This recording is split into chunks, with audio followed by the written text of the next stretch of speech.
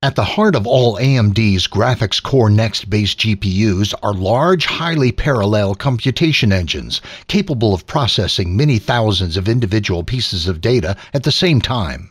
These engines are fed by one command processor and multiple asynchronous compute engines, or ACE. The command processor handles the main graphics queue, and ACEs handle compute queues. ACEs enable the GPU to process multiple compute tasks simultaneously, increasing GPU efficiency and boosting performance, crucial to reducing latency and delivering consistent frame rates. Gaps between rendering tasks leave part of the GPU idling, which in turn reduce GPU efficiency. Asynchronous shaders address this by scheduling compute tasks asynchronously or concurrently with graphics rendering tasks without waiting for current rendering work to finish. Submitting tasks is easy if they're coming in order from a single source, but gets trickier when they're being submitted from multiple sources. New APIs like DirectX 12, Vulkan, and Mantle enable multi-threaded task submission. The traditional way of handling this is like a traffic light. First, one stream of commands gets a green light to submit to the GPU, while the other queues up at a red light. Then at some point, the lights change and the first stream stops while the other stream submits. This approach has a couple of issues. A stream of tasks may leave gaps where parts of the GPU are unused, and there's no sense of prioritization for more urgent or time-sensitive tasks. Lack of prioritization and the ability to interrupt work in flight can lead to large processing latency. A partial remedy involves preemption, prioritizing some tasks over others. High priority tasks are executed while low priority tasks are suspended. Preemption deals with data traffic timing issues, but task switching overhead can actually lower overall efficiency. However, not all preemption techniques are created equal. If performing coarse level preemption, such as on draw and compute task boundaries, there are no real time guarantees guarantees if a large draw of computer tasks have to be waited on. Asynchronous shaders provide a full solution as they operate like a highway, eliminating traffic lights and scheduling issues and enabling tasks from multiple sources to be submitted to the GPU and processed simultaneously. Using multiple command processors, the asynchronous compute engines in AMD's Graphics Core Next GPU architecture, each queue can submit commands without waiting for the other tasks to complete.